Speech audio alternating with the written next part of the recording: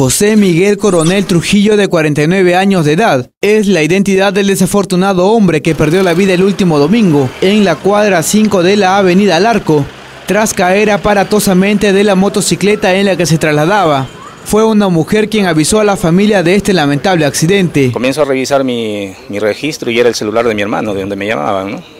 Y, y, lo vuelvo a llamar nuevamente y me contesta la chica, me dice, sí, ella ha sido en la cuadra 5, me dice en la cuadra 5, vengan a ver lo que está tirado ahí. Ya ha sido, habrá pasado como 15 minutos, todo lo que yo comuniqué y lo vuelvo a llamar. ¿no? Y ahí me confirma, me dice, parece que ha fallecido, me dice, porque ya este, no, no reaccionó. No, él ha estado con mi cuñado en su casa, ha estado en su casa y han estado una tarde, ¿no?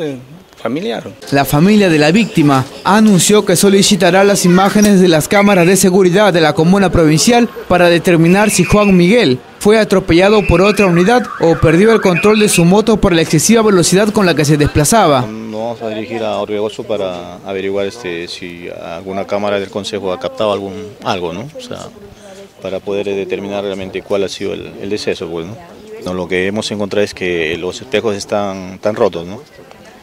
Eh, no se sabe si ha sido a, consecuencia de la caída o o en todo caso arrozado con alguna unidad o vehículo, o no sabemos realmente, o el impacto de repente ha accidentado a alguna persona, también no sabemos. El infortunado hombre, quien laboraba como jefe de almacén de envases en la empresa Damper, deja dos hijas en la orfandad. Los restos de Miguel Coronel serán velados en su vivienda del Girón Callao, en el sector Buenos Aires en Víctor Larco.